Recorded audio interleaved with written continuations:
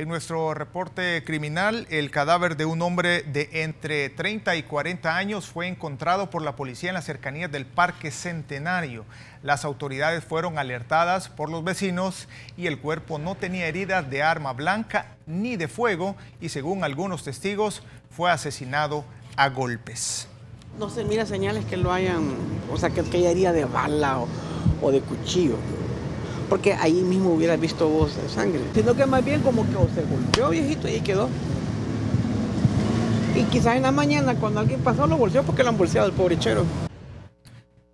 Residentes de la zona dijeron que la víctima ya había sido amenazado y tenía prohibida su visita